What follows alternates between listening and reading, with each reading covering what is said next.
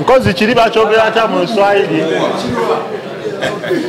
Ah, Kiswahili ya kipande kwani? naenda kuua wewe Haya, Grace tomorrow kwa Kiswahili. ah kiswahili kidogo i don't know you too much Anzia hicho hicho kidogo alafu speak english Let's go.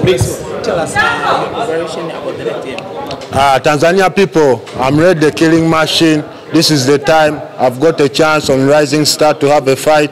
So I'm gonna show you. This is the time. Killing machine vis-a-vis Nakata, Kabisa. What do you prepare for your opponent? I'm prepared. It's a war for me. I'm a killing machine. Killing machine. Do you know killing machine? Killing machine can kill everything. Gonna kill that wolf tomorrow. You still be there on Swahili Flix and watch the fight because killing machine is ready. Vis-a-vis Nakata. Killing machine in your native language. Tell your people.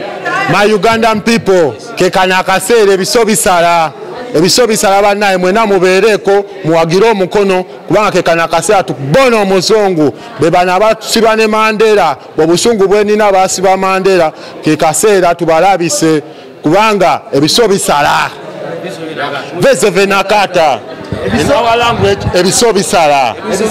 Ebiso bisala. Veseve nakata Tanzania people, mimi naenda ku, kuwewa wewe kabisa, kuua. Kuua. Kuua Chris tomorrow.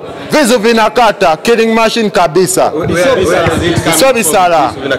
Come from Uganda. If you want to know more of vizo vinakata, you know you come tomorrow and you watch the fight. You will see Vizu vinakata. Nakata, do you have any message to Dullah Mbabe after losing his fight?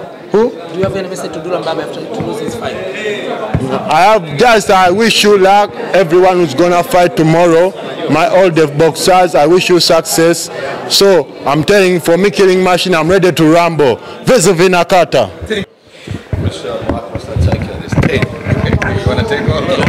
So hold all of these. You wanna talk this? Yeah, Ada. Wait, hold on, hold on, hold on, hold on. Hold on.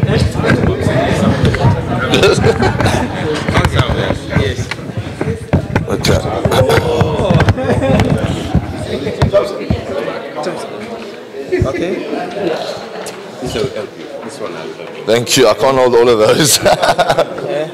Straight to the camera. Uh, tell us uh, your preparation about the next fight to your fans. Yeah, you know, uh, preparation went well. Uh, obviously, we were preparing in South Africa.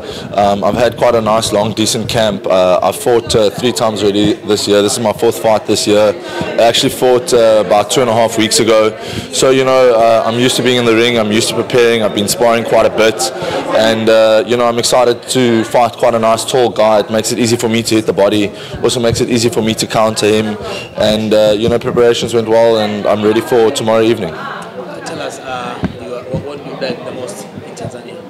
To be honest, I love the people the most. You know, the Tanzanian people are amazing people, friendly people, welcoming people, and uh, they love boxing, which is the most important thing. And uh, they've hosted us extremely well here in Tanzania. So, you know, I'm glad to be back here. Um, I fought here, and I will be back again uh, on the 26th of November. And uh, I'll be happy to be fighting here again. You know, I would like to uh, fight quite often in Tanzania. I love it here. I, I love the Onama Hotel. I love what the Tanzanian people do for boxing, and uh, I love their admiration for the game and for the sport of boxing. You said that uh, people from Tanzania they love uh, boxing. Yes. Tell us uh, the, the influence of boxing between your country and Tanzania. Um, you know, to be honest with you, uh, boxing is bigger in Tanzania than it is in South Africa. You know, obviously sport and the structure of sport is bigger in uh, South Africa, but you know the boxing scene is uh, bigger here. The people love uh, boxing more than what they do back home, and uh, that's why we found ourselves here for the third time, and we'll find ourselves here for the fourth time uh, at the end of the year. Uh, Tanzanian people are hard people, but they, you know they love the fight business.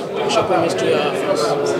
Uh, to my fans back in South Africa, my fans in Tanzania, you know, guys, uh, I just thank you for all your support, and uh, I hope you guys enjoy the fight. It's going to be a good one. I'm going to hurt Kiwanuka, and uh, he doesn't know what's coming for him. I appreciate the support, and uh, as I said, we never eat alone. I'm bringing this kid's uh, ribs back home, and uh, we're going to we're going to buy his ribs back in South Africa, and we're going to eat as a team. Is there any difference when you fight in South Africa and outside of South Africa? Um, you know, obviously the difference is, uh, you know, I have a very big following in South Africa. uh, you know, we're still building up a, a, decent, nice name here in Tanzania. So that's the biggest difference is just the crowd, you know. Obviously, when I fight back home, everybody loves to watch me fight. But, you know, I'm getting quite a nice following here in Tanzania. And, uh, you know, the people love me. And I actually prefer to fight in Tanzania. You know, the pressure isn't on me. The pressure's on my opponent. And so it's nice for me to fight in Tanzania. It's nice for me to, you know, bring a little bit of South Africa to Tanzania and uh, make the people in South Africa and make the people in Tanzania my own, you know. Uh, I have a Tanzanian boxing license, so I actually represent this country when I fight, you know. And so for me, that's a big blessing. Thank you.